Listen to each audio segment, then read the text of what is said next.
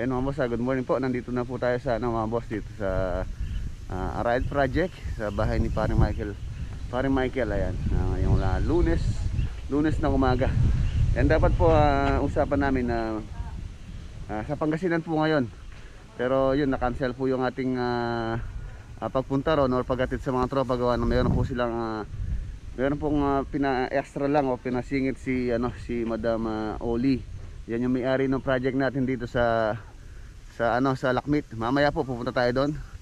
Ah, meron lang siyang pinagawang ah, ano lang ah, sa bahay. Eh mamaya silipin po natin ulit yung project sa ano sa Lakmit project yung natapos natin doon. Baka bukas na po kami pupunta sa ano sa Pangasinan.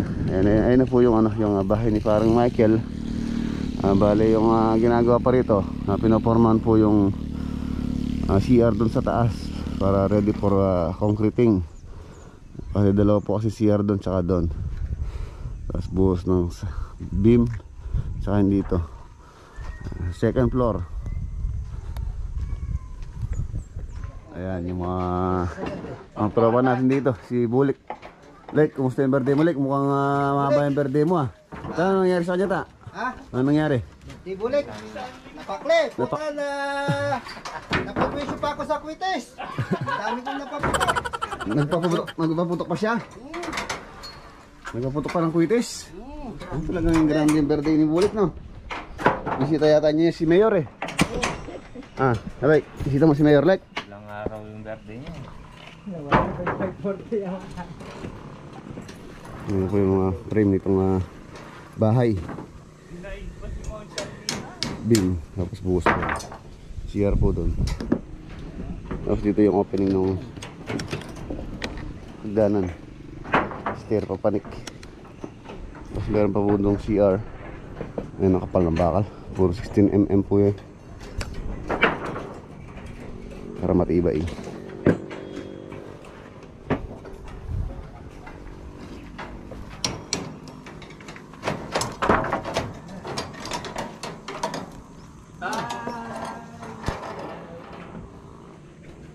Ayan, y- yung gawin doon, scaffolding. Yan po yun ngayon. Scaffold.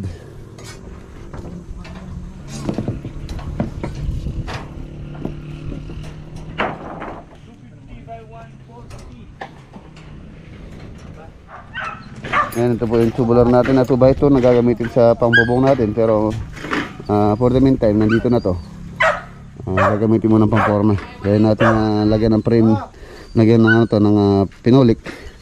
Yan gagawin natin pang frame, pang forma doon. Sa mga katibit tayo ng kahoy. So ayan mga bossing, uh, uwi mo ay uwi. Iwan muna muna natin sila dito.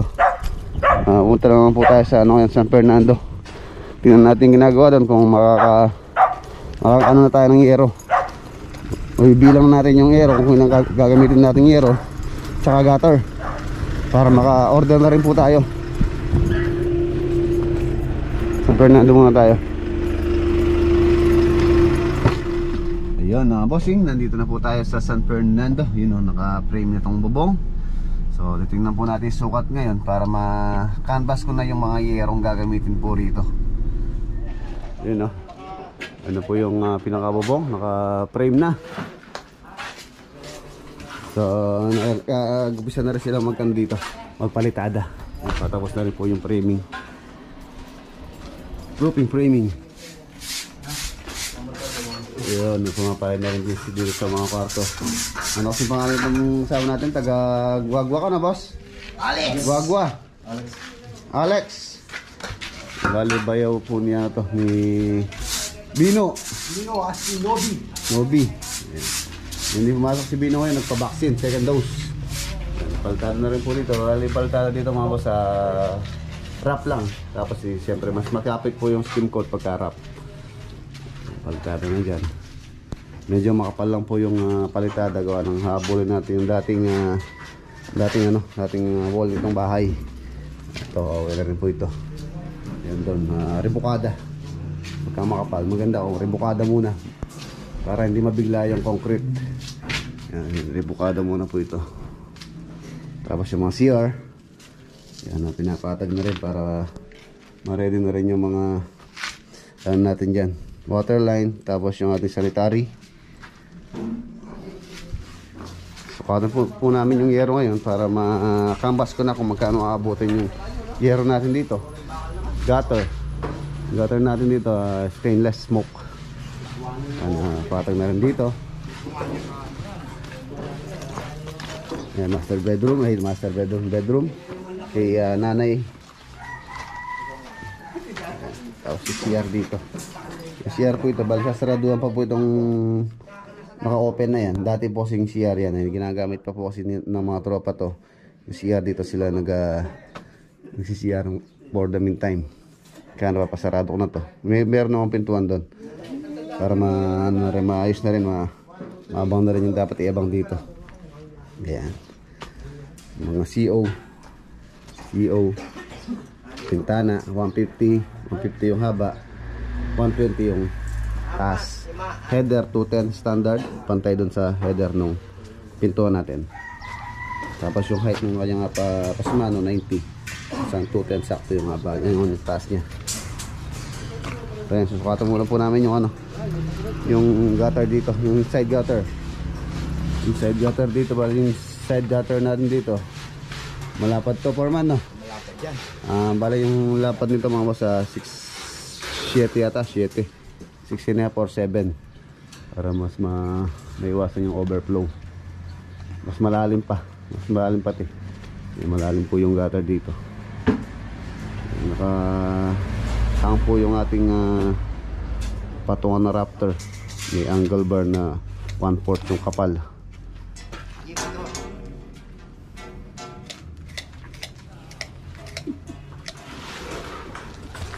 Doon, may focus si Prime yan. Ah, break time. Yan ang sarap ng merienda ni Iron Man. Iron Man. Pogi, pogi. Ito po tayo ng kanin. Ay, sarap ng ulam. Nilagang baboy talaga kaya paborin ni Gain eh. Si Iron Man eh. Nilagang baboy. Dami-dami nga, bigyan ko rin man eh. Tapos ko, Coca-Cola. Baka naman. Break tayo muna para mamaya estimate po natin yung ano, yung yero. Yan mamo, sana, alos na ano ko na po, na-compute ko na po yung ah, gagamitin namin yan dito.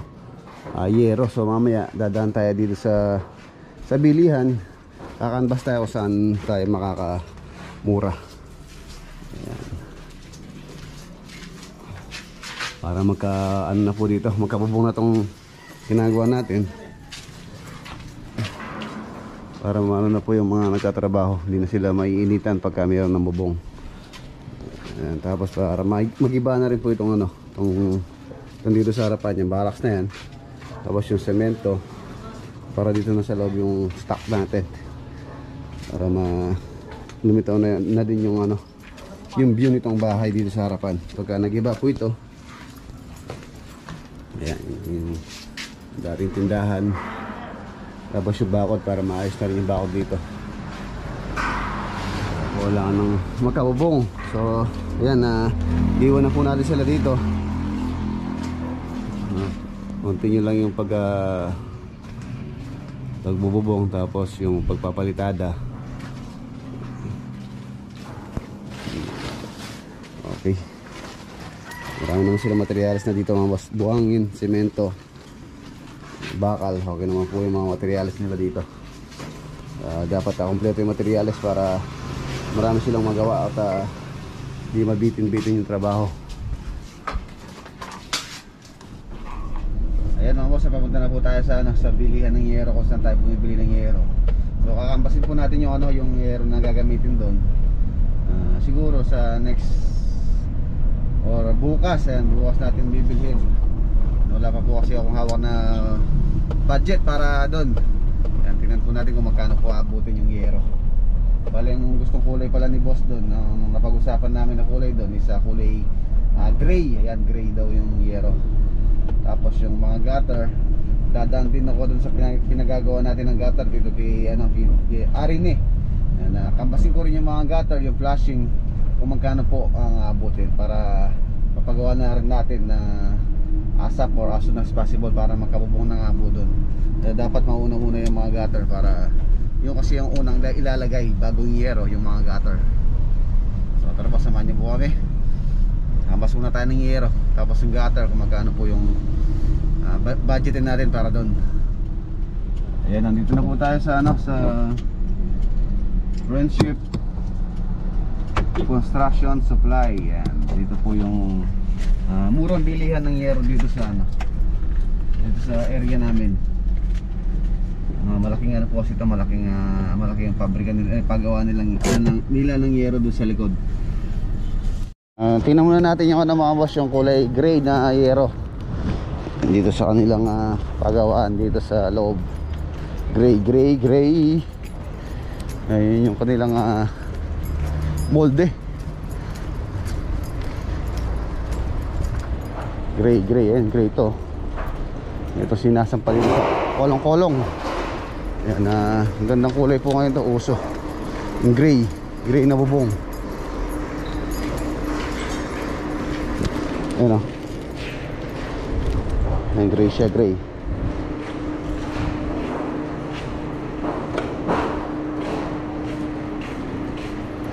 Kuya, ito po yung kulay gray.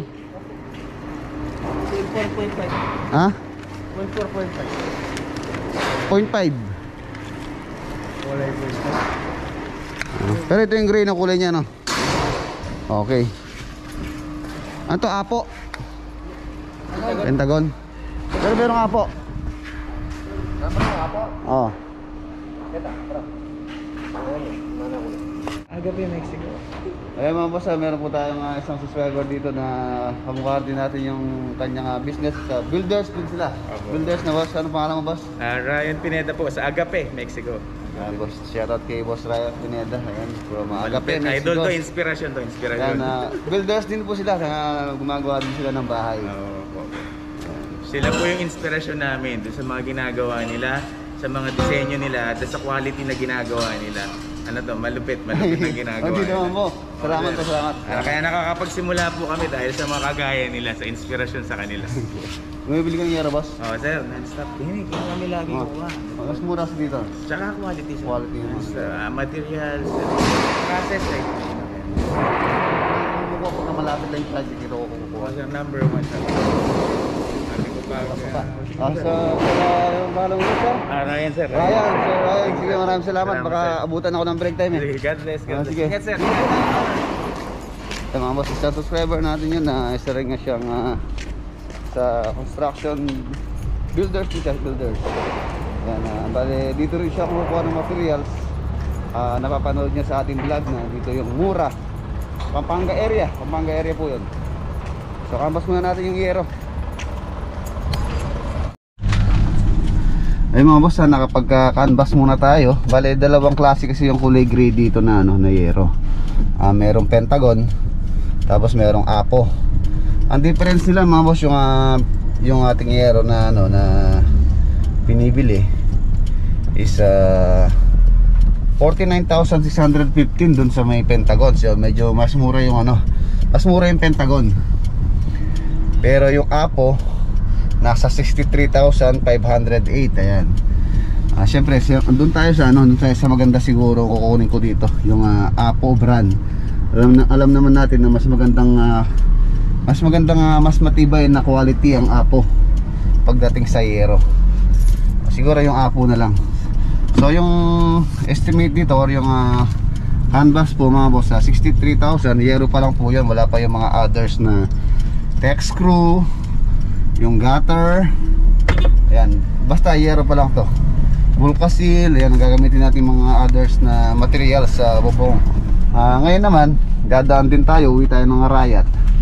Ika-canvasin ko naman dun sa dun sa ating ah, mga gutter tsaka mga flashing dito sa Arayat sa, sa pinapapagawa natin ng gutter na stainless smoke. Ayan itong mga material ah, natin. Kailangan kakailanganin natin. 63,508 ang yero. Tatansya ko mga boss, aabot ng ano to ng ah, 120,000 more or less yan kasama na yung mga others pa Medyo mahal po kasi itong mga gutter natin. Ah, stainless po ito. Pero titingnan ko rin kakamasan natin kung uh, magkano rin naabutin itong mga gutter natin. Ayan mga boss, ah, break time. Break time na po. Subukan natin ano, mag-iusap kung pwede pang ikambasin yung mga ano, mga gagamitin natin. Boss! Man! Boss! Long time no siya! Ang daw na si. Anong ulam? Aluminum kasi yan, eh. Ha?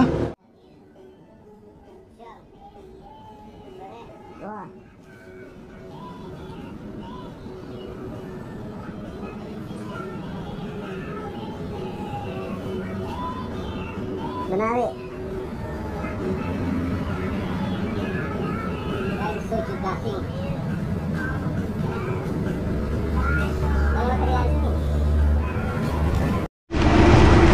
Ay mga boss, ah, na ano ko na po na naka-canvas ko na po yung ating ah, ay yung gutter. Ayan. Ayan yung ating ah, canvas dito. Bale umabot po lahat ng 24,635 lahat po ng flashing gutter na gagamitin natin. Tsaka yung ah, ah, special bend natin na dun sa ano dun sa side gutter natin. Na stainless din yon Ayan, umabot po lahat ng 24,635 so nag down, down payment lang po ako muna ng ah, 4,000 so sa Merkulis po yung pick up nito. Ah, baka Merkulis pwede na po maglagay ng ano doon ng ah, ang tawag dito gutter. Tapos baka tingnan ko rin baka bukas order na rin po ako ng yero. Ayan halos sa 24,000 plus yung plus yung ano magkano ba yun? 63 24 plus 63 magkano yun? 7 7 tapos 9 90 ah, almost sa 98,000 yung yero. Wala pa po yung dito yung ano wala pa po dito yung mga others nga na text screw, bulkasil insulation ayan. Insulation lalagyan po natin ng insulation yung ano yung lalagyan natin bubong doon para hindi meron siyang ano insulation na hindi siya medyo mainit. Sa ayun sa tansya ko po mga boss abot ng 120,000 120,000 lahat ng materials natin gagamitin doon. Uh, tama naman sa ating uh, estimate na habot ng 120 yung bubong po doon. So ayun mga boss uh, diretso po tayo ngayon sa ano sa Lakmit. Uh, bisitahin po natin muli yung Lakmit project na nandun po yung may-ari ngayon. Galing po siyang uh, uh, Germany. Yan si Ma'am Oli tsaka si uh, Lolo Teo. Yan shoutout po sa inyo. Punta po tayo ngayon sa Lakmit para oh, makita nyo muli masulyapan nyo muli yung project natin doon yan. Ayan nasa ano lang pala ah, nasa fraction lang po. Nasa 63,000 plus sa 24,000 mahigit. Nasa 80 80 87 ay 88 almost 88,000 po pala yung ano total ng ating uh, kinanvas ngayon.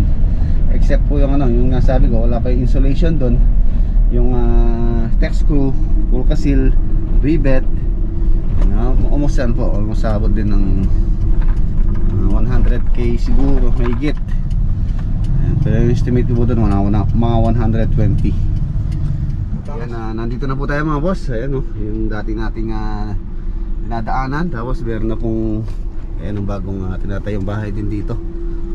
Ayan po yung project natin dito sa uh, Lakmit.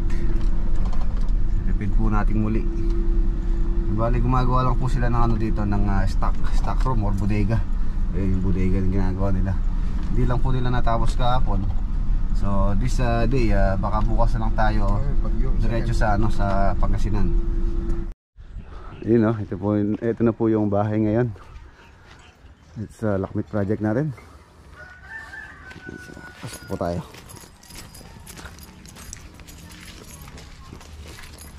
May meron palang ano mga boss, ah, nagla-landscape na dito. Yan na, shoutout kay boss. Ano pangalan mo? Jeric. Jeric, boss Jeric. Yan, meron na siyang ah, damo.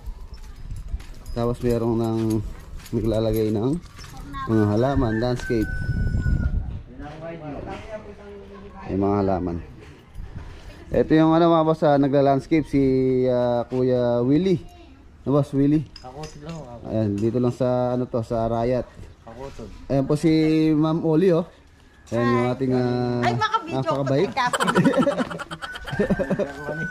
Galing Germany si Ma'am Oli. Baka magkaya pa. Siya, siya po yung may-ari ng bahay. Ayun, nala-landscape daw po sila. Yung po mga interesadong magpa-landscape. na ito po yung ah, contact ni ah, Kuya Willie. Yan, ah, mura lang po siyang ano, ah, maningil. Mag-inquire po kayo. Yan po yung number, na, number niya sa kanyang ah, calling card. Calling card. Yung po mga gustong magpa-landscape ng bahay.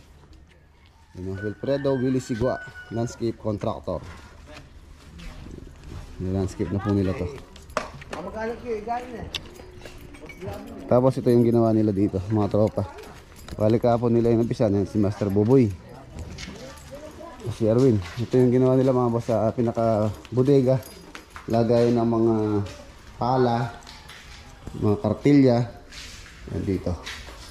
Yung mga garden tools. Yan. Yun yung mga garden tools. Tapos ng kubo. ah, iangat po nila. Yan, gumawa, sila ng pinaka-poste.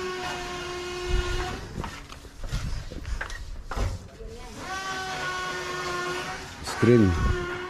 Tapos bibilogan yung mga poste. Yung poste niya, walo.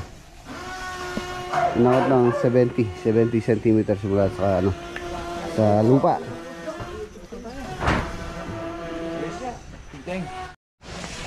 Yan, dito po sa likod. Yan.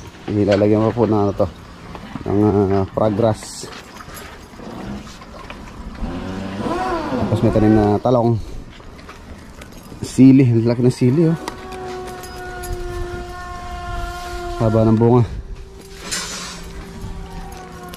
Tapos yun yung Madre de Agua yata to. Madre de Agua.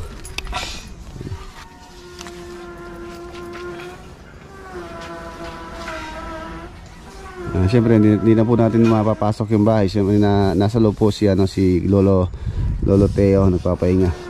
So, hindi na natin istorbuhin. Hindi, hindi, na po na tayo, hindi, na, hindi na po tayo makakapasok doon. Private, ano na po, privacy nila.